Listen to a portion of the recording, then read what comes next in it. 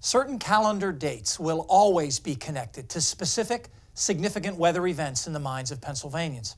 There was that week in June 1972 with Hurricane Agnes, the superstorm of March 1993, and the blizzard of January 1996. And then there's today, May 31st, which has historically brought a disproportionate share of dangerous weather to the state.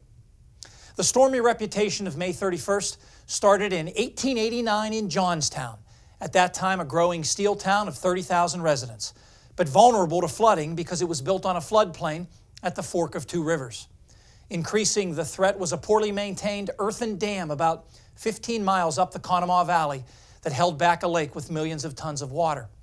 On the afternoon of May 31, 1889, after 5 to 10 inches of rain had fallen overnight, the dam failed, sending a fast moving wall of water down the narrow valley into the city, leveling everything in its path.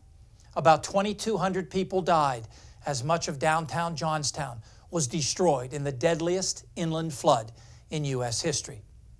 Nearly a century later, in 1985, came the worst tornado outbreak on record in Pennsylvania, again on the last day of May. An approaching cold front spawned a vicious squall line of supercell thunderstorms that produced 21 tornadoes in the Commonwealth, resulting in 65 fatalities, more than 700 injuries, and almost $400 million in damage.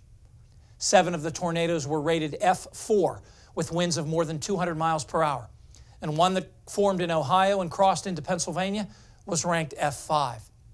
That tornado was on the ground for an hour and tore through Wheatland in Mercer County with winds estimated at 300 miles per hour making it the strongest tornado on record in the state. One of the F4 tornadoes in central Pennsylvania was on the ground for nearly 70 miles, at one point leveling trees at the rate of 30,000 per minute. Without question, May 31, 1985 was the worst tornado day in recorded Pennsylvania history. 13 years later, in 1998, again on May 31st, another outbreak of more than 20 tornadoes hit the state. Three of the twisters reached F3 status with winds in excess of 150 miles per hour. The most damaging developed just east of Mount Davis, the highest point in the state in Somerset County, and went through the community of Salisbury on a path half a mile wide.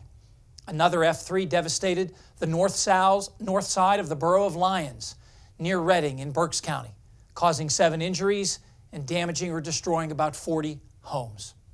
Timely warnings limited the 1998 tornado outbreak to just one fatality. I don't think May 2017 in Pennsylvania will be remembered for the weather on its last day, but rather for the month as a whole cooler, cloudier, and wetter than average in most places.